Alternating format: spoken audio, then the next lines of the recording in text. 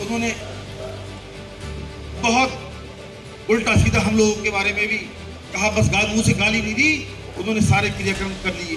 अगर मुख्यमंत्री होने के नाते, नेता सदन होने के नाते योगी अगर अफसर कहने का काम करेंगे तो हम लोग भी चुप बैठने का काम नहीं करेंगे। हाथ के हाथ जवाब देने का भी तो अगर उसके मुँह से भी अगर आवाज़ निकलेगी तो हमारी भी बंदूकों में से आधी सुई धुआँ नहीं निकलेगा, गोली निकलेगी, बताना चाह रहा हूँ।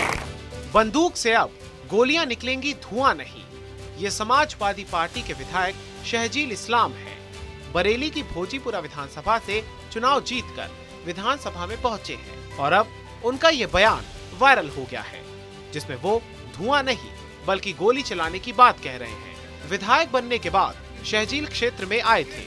उनके सम्मान में एक कार्यक्रम का आयोजन किया गया था। यहाँ वो योगी सरकार पर चुन चुन कर हमले कर रहे थे। इसी बीच उन्होंने योगी आदित्यनाथ के लिए कहा कि अगर उनके मुँह से आवाज़ निकलेगी तो हमारी भी बंदूकों से धुआँ नहीं, बल्कि गोलियाँ निकलेंगी। तो अगर उसके मुँह से भी आवाज़ निकलेगी तो हमारी भी बंदूकों में से आधी सुई धुआँ नहीं निकलेगा, गोली निकलेगी, बताना चाह रहा हूँ। तो आप लोग बिल्कुल परेशान होने की, घबराने की ज़रूरत नहीं है। हम लोग आपके साथ में हैं, पूरा जन समर्थन साथ में है। सबको एक एक लाख वोट मिला है हमारे सब प्रत्याशियों को। अगर इन्होंने मनमानी करने की कोशिश करी तो बरेली के अंदर भी हम धरना प्रदर्शन करेंगे, सड़कें जाम करने का काम करेंगे और कोई जुल्म जाति बर्दाश्त नहीं होने देंगे। शहजील इस्लाम ने कहा कि 2017 में विधानसभा में सपा के कम विधायक थे, इसलिए योगी आदित्यनाथ सदन में उन्हें बुरा भला कहते थे। लेकिन अब हम लोगों की अच्छी खासी संख्या है। अब 2017 जैसी बात होगी तो हम, यानी सपा, सदन में ही जवाब देगी।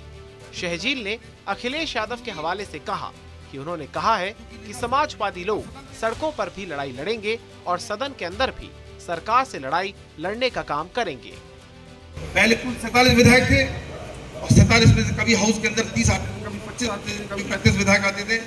और योगी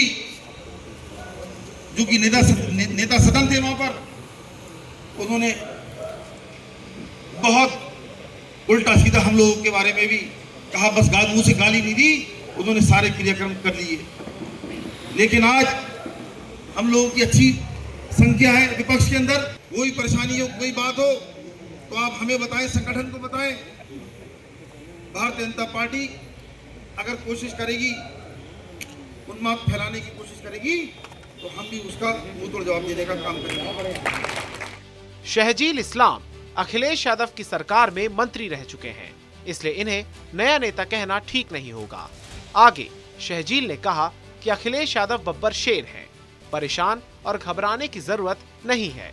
हम लोग आपके साथ में हैं। हमारे सब प्रत्याशियों को एक एक लाख वोट मिले हैं। इन्होंने अगर मनमानी करने की कोशिश की तो हम लोग प्रदर्शन करेंगे और सड़कें जाम करेंगे। कोई जुर्म जाति बर्दाश्त नहीं होने देंगे। भाजपा अगर उन्माद फैलाने की कोशिश करेगी तो हम भी उसका मुँह तोड़ जवाब देंगे।